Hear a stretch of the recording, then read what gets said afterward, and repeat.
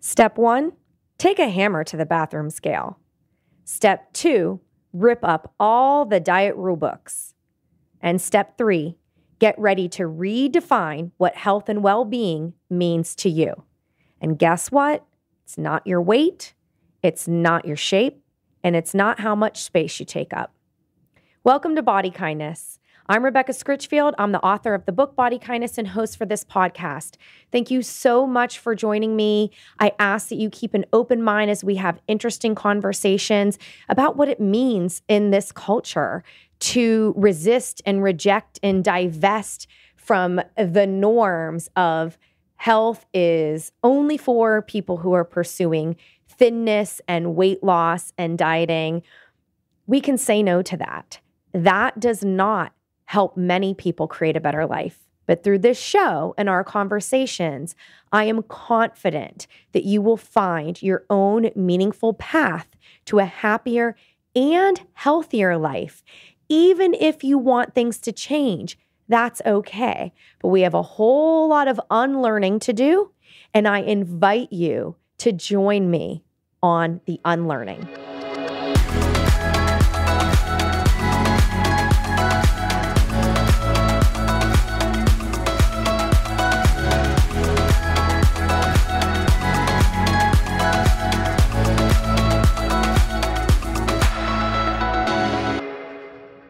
This episode of Body Kindness is brought to you by the Body Kindness book and Brave Box bundle.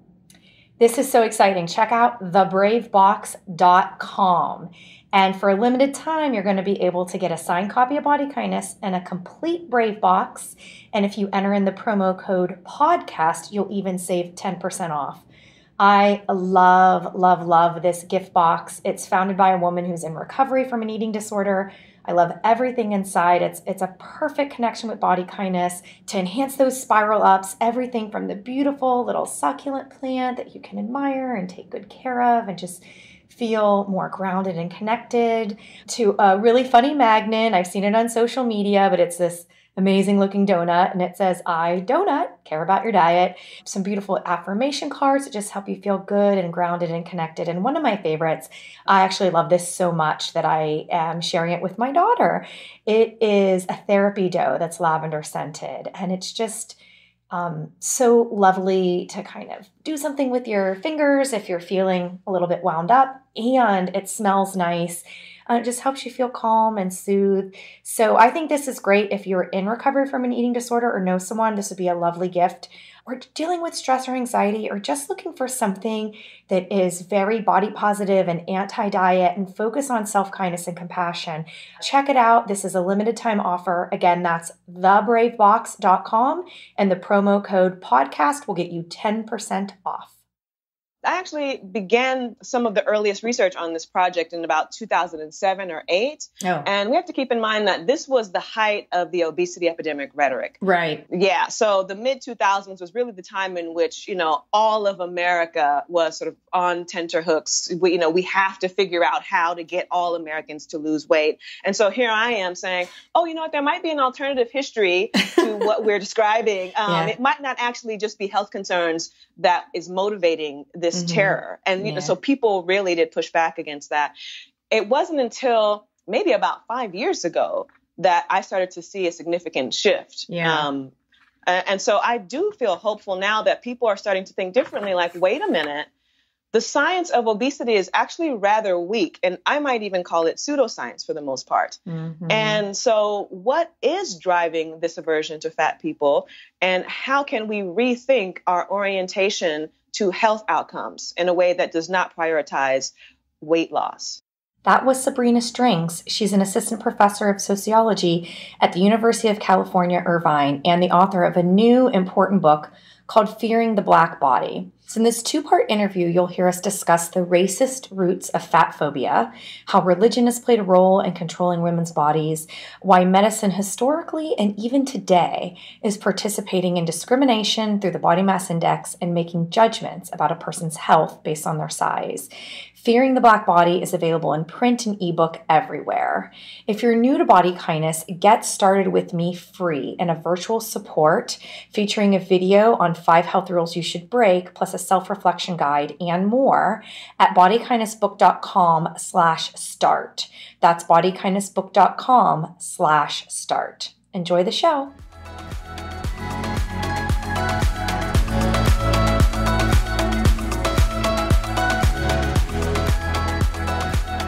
Sabrina, welcome to Body Kindness. Thank you for having me on. I'm so so excited for you to be here. I was actually watching some of uh, some YouTube videos I found of you last night and introducing you to my daughters, of who mommy was going to be talking to today. So thank you. I really appreciate it. Well, yeah, that's awesome. Actually, I forgot that those videos were out there. you know, nothing ever dies if it's on the internet, right? that is so true. Yeah, the eternal archive. yes, exactly. So I'd love to start the show by letting the listeners know how how I came to find you and and and really care deeply um, about bringing my guests on. And so for you, I was doing as folks do and dawdling on social media. I want to say a couple years ago, actually. And there was an article that was being shared in the Health at Every Size circles that you had won a very important award or a grant from the Hellman Foundation to write the book that I'm holding in my hand called Fearing the Black Body The Racial Origins of Fat Phobia. And I was, I, I bookmarked it and I was like, when that book is done, I want to talk to her. And I just kind of made sure to follow you for a while. And so I was a fan before I even got the review copy in the mail. And yeah, I just would just love if you don't mind sharing a little bit more about yourself and the kind of work you do to get started. Well, sure. I'm originally from Pasadena, California. And actually, that ends up being relevant to the story of mm. how I came to write this book uh-huh. because my family is from Kentucky, Tennessee, and Georgia. And my grandparents came to California as part of the second wave of the Great Migration in the 1960s. And my grandmother grew up in a Jim Crow segregated, all black community, a rural mm-hmm. community in Georgia. Mm-hmm. She moved from there to Pasadena, California. Mm-hmm. And for the first time, she's living in an integrated community. And one of the things that struck her pretty much immediately was the fact that almost all of the white women that she was meeting were on diets. Mm-hmm. And she was like, what is this? So, as you might imagine, growing up the 1940s to the 1960s in rural Georgia, not a lot of people were worried about losing weight. Mm-hmm. So it was a major triumph just for people to be able to eat regularly. Hmm. so by the time I was in high school in the late 90s, this was something that she would just pull me aside and ask me routinely, like, why are white women on diets? Like what? Like what? Like she, mm-hmm. like for decades she had been puzzled by this.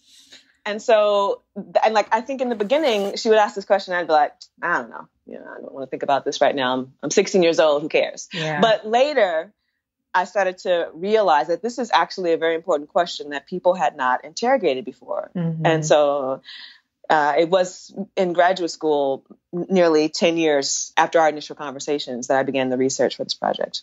Because you had some element of resilience, right? Like, I can't be bothered by that crap. I'm 16. I want to enjoy my life. Like, I actually think our culture now is much worse off. So I don't know. Do you think it was how you were raised? Just in personal values to respect yourself, or what was your secret? On the one hand, being in a black family and mm-hmm. living in a community that was integrated, I feel like my grandmother in particular did a lot of work to, first of all, provide us with healthy meals. Um, so we always had, you know, collard greens and yams and baked chicken and mm-hmm. macaroni and, you know, like the traditional Southern cooking that my mm-hmm. grandmother was a master at preparing. Mm-hmm. And she definitely wanted us to have a pride in our heritage and also our appearance. Mm-hmm. You know, she, my grandmother worked at Macy's department store oh. and it was very, very fancy to be able to go in there. And so you need to make sure that you presented yourself accordingly, right? But at the same time, as I mentioned, growing up in an integrated community, it was, it was pretty clear that maintaining a certain weight was important. So it wasn't as if mm-hmm. I was completely unaware of what she was talking about. Mm. I just wasn't as invested in the question as she was. And I wasn't as invested in the practice as I knew some of my white friends were. Mm-hmm.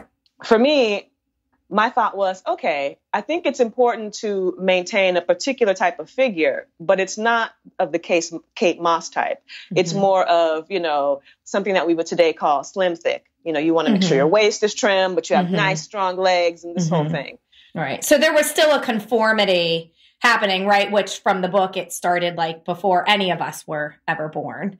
Um, there was still some rule that you were following, but you kind of fit so you didn't feel the pull like the lure the, the allure of dieting wasn't going to be as rewarding to you it was one of those things where dieting definitely did feel like a moral enterprise mm. although my my desired outcome was not the same as for a lot of the white girls that I knew. So it felt like, yeah, low fat diets, because you know, this was the 1990s and this was the height of SnackWells. It was like, okay, well, you mm. want to have your low fat diet um, with, you know, a couple of low sugar items, mm. um, but nevertheless, you get to indulge. Uh, so yeah, I you know I was definitely aware of and a participant in the 1990s diet culture, but I think I had a different orientation to that um, than some people. Mm-hmm.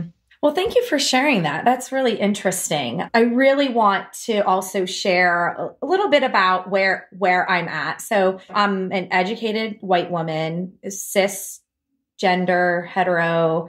I have a lot of privilege. I have thin privilege. And you know i'm i'm really interested in in having a conversation with you i've really benefited from learning from ijeoma oluo who's been on the show before sonya renee taylor's been on the show before desiree adaway i use her cards for self-reflection and journaling I'd like to say all the time, but sometimes I'm just like, yeah, I'm all right. And whenever I'm not all right, I pull a card and I journal and oh. I get better.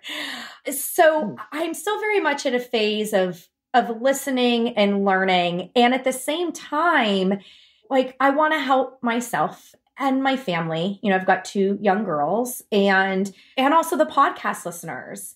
There's helping professionals who listen. There or just anyone trying to walk away from diets at any size. And I really want to help people like create a better life and outside of the personal, help contribute to make the world a better place. And I would just love to know before we dive into the details of what you found in your very important, very academic, very well referenced book. like just is there is there a hope that comes to mind, right? Like when you held your first copy or was is there a moment for like uh, a hope that you have now that this book is out there in the world? You know, I really appreciate that question because when I began my research into this topic, I faced a lot of resistance. Mm. So there were um, my peers in graduate school, and there were also faculty members that I met at a variety of institutions who thought, A, hasn't this already been done? B, is this academic? And C, is this something we can know or should care about? So it was a really strange mix of mm. reservations, right? These three things are, they simply don't go together. Was, can I ask, was there a race issue in those questions or was it just, I don't know, ignorance um, is the word that's coming to my mind?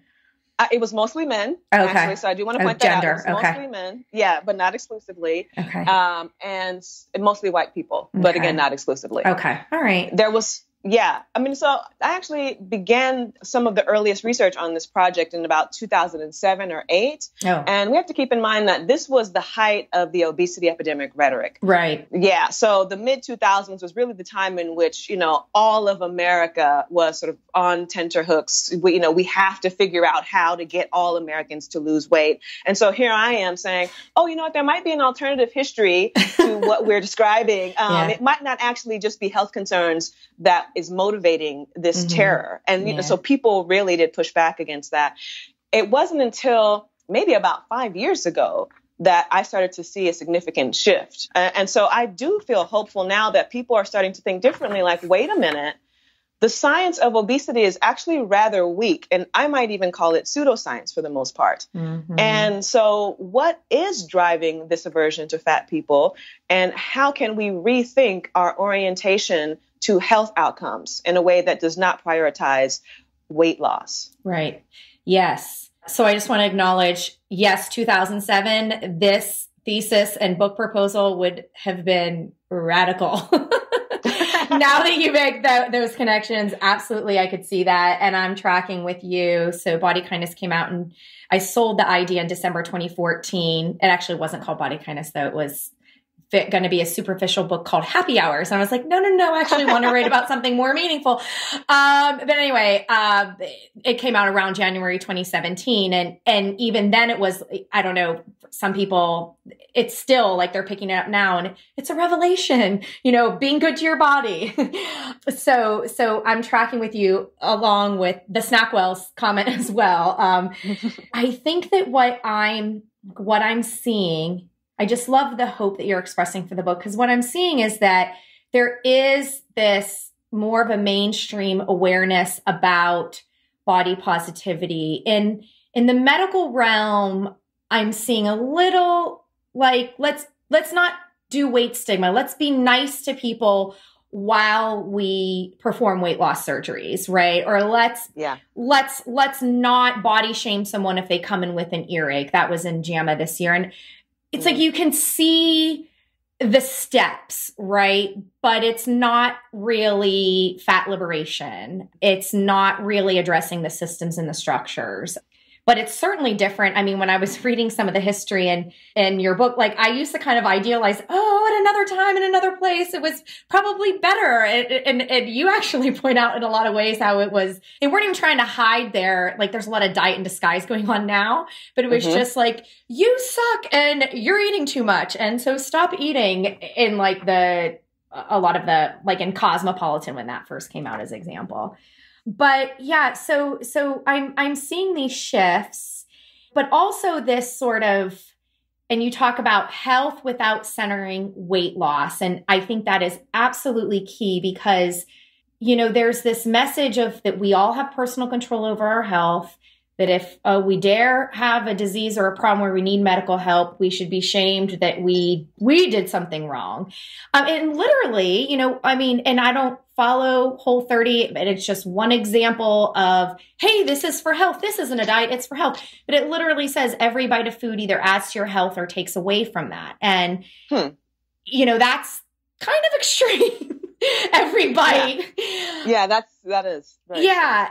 And and so it comes back to this, you know, I mean, maybe there's a question of are we're operating from the wrong definition of health if it's going to center weight loss. What are your thoughts on that?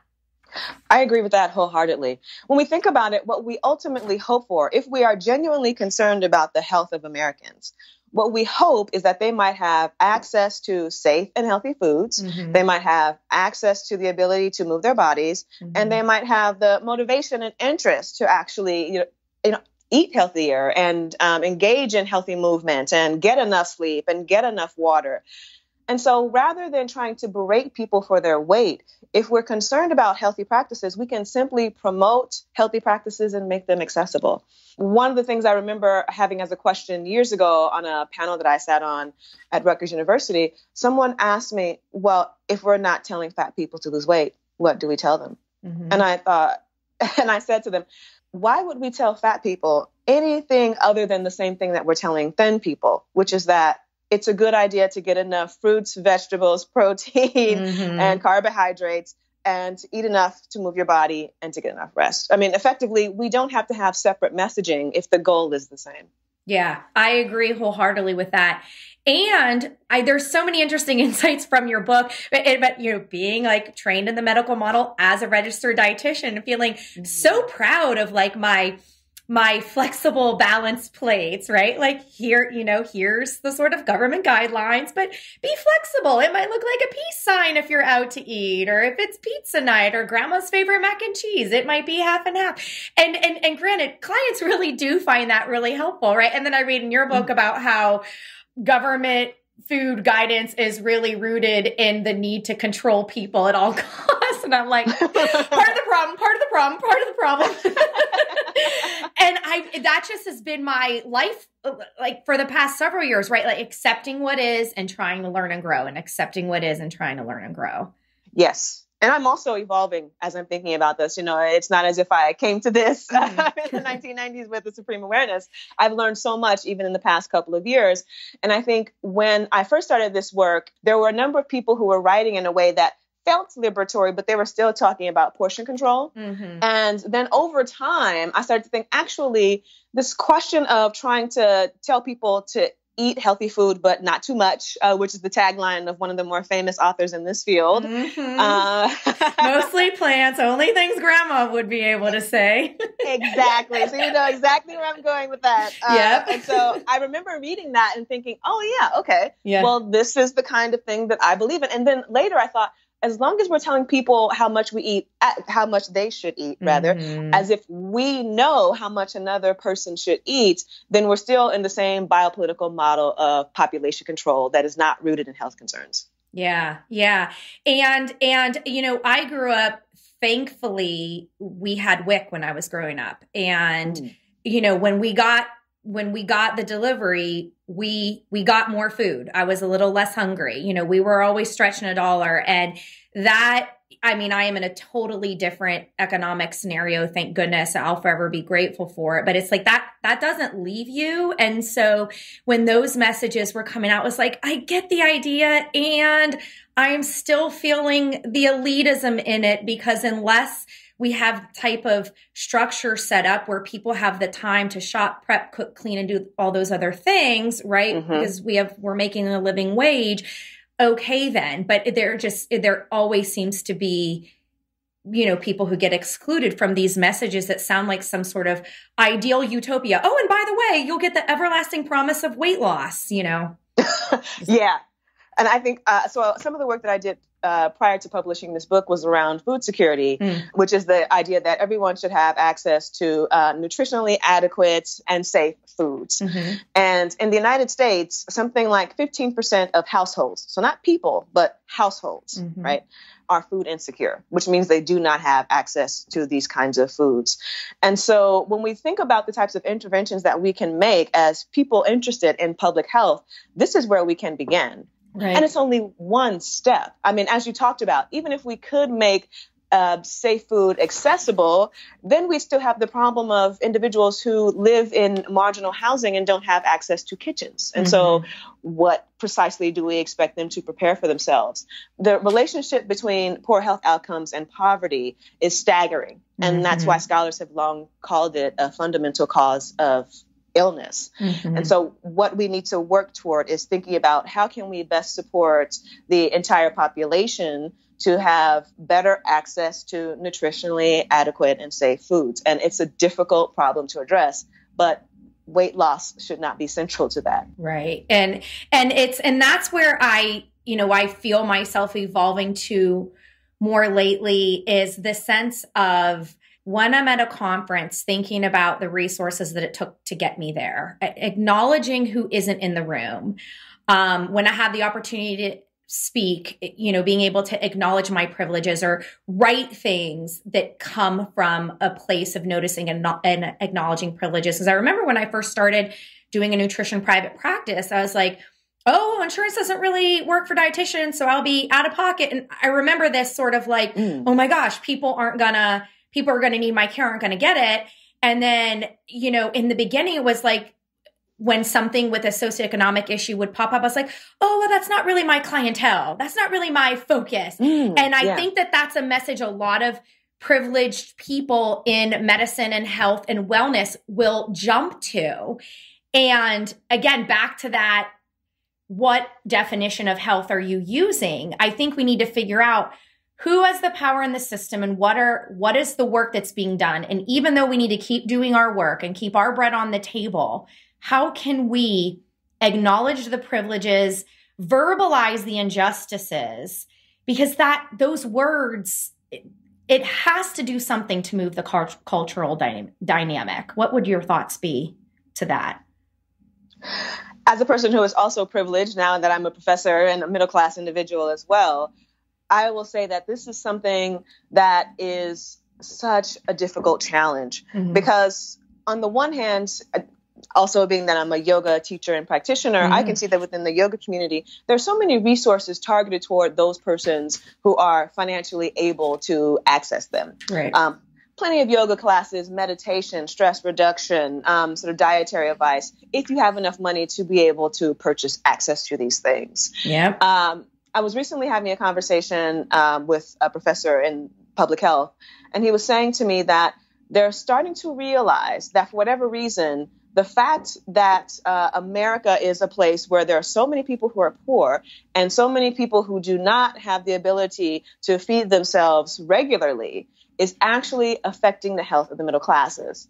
And and they wanted to try to figure out wait, how is this dragging the middle class down? I mean, obviously the person didn't say it that way, but right.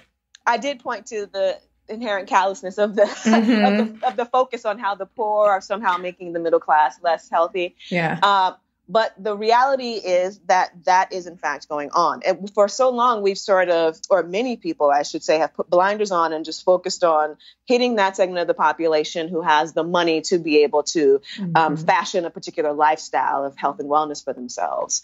But now there's a growing awareness in the public health community that if we do not take care of all Americans, then all Americans lose out and not just the poorest. Mm-hmm. So I think there is the beginning of a revelation surrounding that.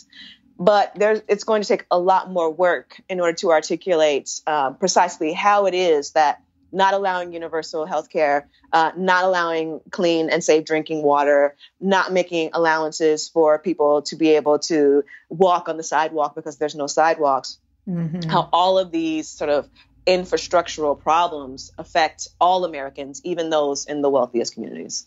Absolutely. And then, you know, pivoting back specifically to the book, how we started about like 2007 and the height of the, you know, air quotes, obesity epidemic rhetoric, all those things that you just mentioned would, they, that wasn't what was getting the attention. It was simply, you're eating too much and we got to do something about your size.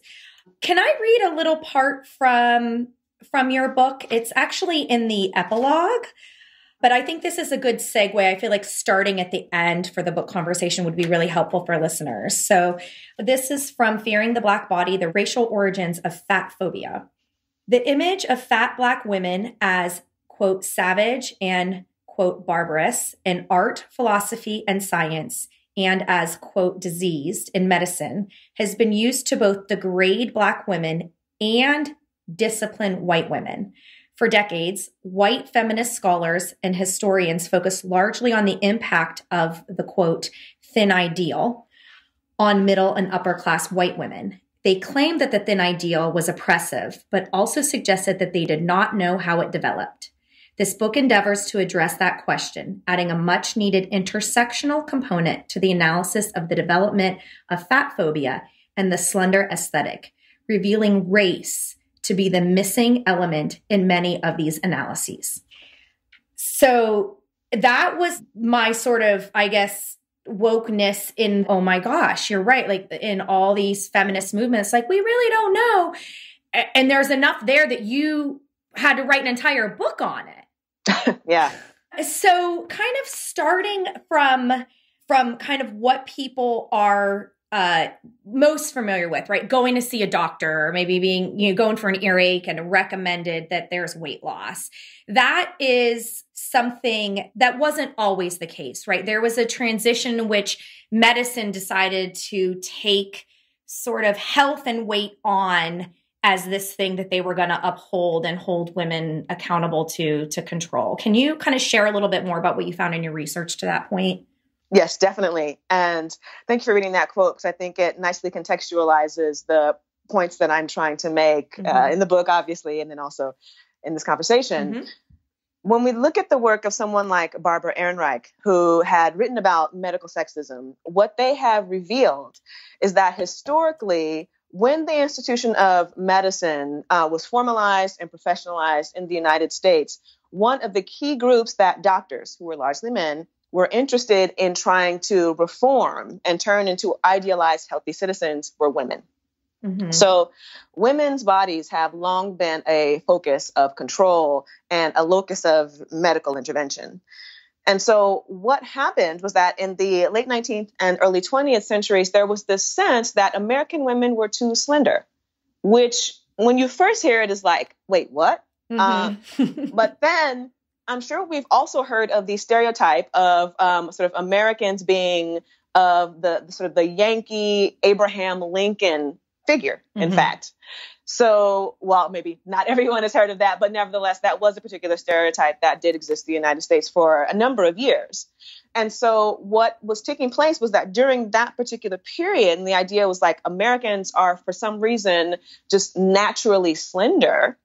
Doctors were suggesting it's actually very important for women to gain weight because we know that women with a particular uh, amount of fat in their bodies, uh, who are just fleshy and curvy enough to sustain pregnancy, are the ones who are going to be the foremothers of the next generations. Uh, so you can find articles about this in JAMA and about the American Journal of Public Health that are really focused on this question of how to get women to gain weight.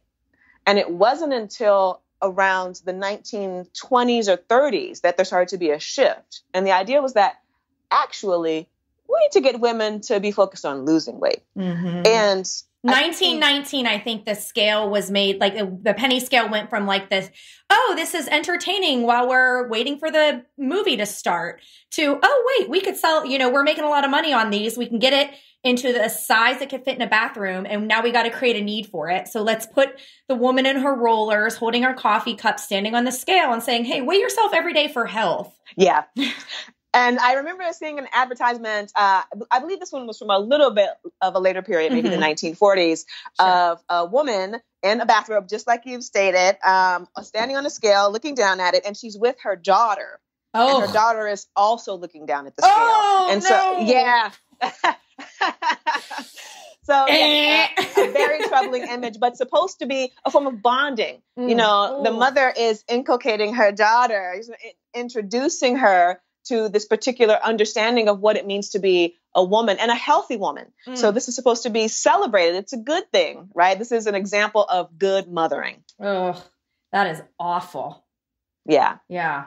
I, I do feel today, in my experience as a mom, and when people are like, "Oh my gosh, I have a I have a question for you," or I, I had a recent podcast with a with another podcaster, author, and mother, and we titled it "Please Don't Screw Up Our Kids." kind of like that feeling, right? You know, that, oh my God, you know, somebody talked about cheese and weight gain or whatever it was. That's that feeling that that's how that's, so I do think that there's that for the people who are aware, you know, I'm kind of struggling with body image here. I'm kind of done with the diet roller coaster. A, yeah. they don't know what to do with themselves, and B, they don't want to screw up their kids. And it just, even hearing from you, I just, now I got to find that image, though I don't really want to look, that idea of telling people this is what it takes. This is how you help your kid think about health. I mean, the countless number of people who've been harmed by weighing themselves and kids being put on diets at three and eating yeah. disorders. Oh my gosh. I mean, so, so much harm. Yeah. Can I share one of the most chilling things to me? I like the hairs on my arms just stood up. It's in chapter eight, Fat Revisited. And and maybe this is because this is like my time, but it was that it but I was really like, this ain't right. You know, that was like my I came out of my mouth. I think it was 1985 was the year that black women were first included in health reports. And you say that until then, like racial or ethnic, like it was seldomly included in any type of medical analyses. And I was like, what? How do you not even include the people that you're aiming to help? Like that just sounded like racism and an injustice. And yet it's very much true. What can you share with us about that? Yeah. So in the early 20th century through the mid 20th century, there was this idea that we needed to reform women, but the women that they wanted to reform were white women mm-hmm. because the idea was that we are trying to create the best possible mothers for our nation. And if that's the goal, they're not focused so much on women of color, right? Mm-hmm. So women of color are the people that they're trying to prevent from reproducing. And there's fantastic work on this by a number of authors, but I'll just mention Dorothy Roberts in Killing the Black Body. Okay. So all of the ways um, throughout the 20th century that they have tried to sterilize black women to prevent them from reproducing. Mm-hmm. So it wasn't until the 1980s in which um, a Democratic Congress was actually starting to notice that there were there tremendous health disparities according to race and ethnicity. And so they thought we need to figure out why it is that minorities, as they would have been called at the time, are experiencing many more negative health outcomes in this country than white Americans. mm-hmm. right? And so it wasn't until after the civil rights movement and the feminist movement that people became became much more invested and interested in trying to figure out why it is that people of color have worse health outcomes. So this is part of the reason why for a number of years in the medical establishment very little was known about what was happening in low income and marginalized communities.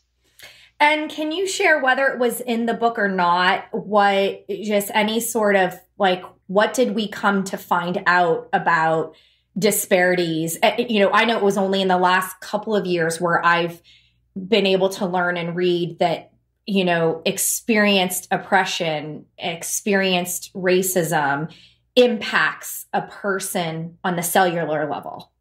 Yes, and there are just so many factors that contribute to health outcomes, which makes the focus on weight all the more egregious. Mm-hmm. Because one of the things, as I point out in the book, one of the consequences of them now deciding that they're going to shift their focus from largely white populations, to populations of color, and try to figure out, well, what is causing poor health outcomes was that they thought, or they found rather, oh, well, their BMIs are elevated, so it must be weight. We'll tell them to lose weight, right? Mm-hmm. But in reality, there are so many factors, in addition to the food security issues that I mentioned previously, mm-hmm. although I did not mention that. Uh, communities of color, low income communities, female headed households are far more likely to experience food insecurity than more middle class, wealthier, or whiter communities. Mm-hmm. And so when we look at all of the factors that are contributing to health disparities, uh, stress is a major component. Poverty, lack of access to um, safe drinking water and healthy food. It's it's such a compounding number of things, and I think that a number of public health scholarship did a fantastic job uh, being able to articulate the ways in which maybe one or two of these things might contribute to worse health outcomes. But the difficulty is that it's such a conglomeration of factors that are like embedded that it's very difficult to be able to say if we change one thing then we will change the entire system. Unless the one thing that we are changing uh, is fundamentally trying to eradicate poverty.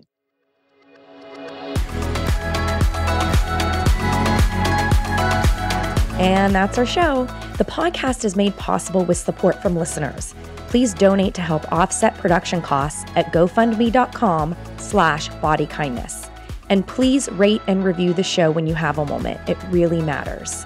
Let's keep the conversations going on Facebook. Search Body Kindness and request to join the group for Body Kindness readers and listeners. Have a question for us to answer on a future episode? Visit bodykindnessbook.com slash question. Body Kindness books and audiobooks are available wherever books are sold. To request a signed print copy, visit bodykindnessbook.com slash order. For other questions about this podcast, please email info at bodykindnessbook.com.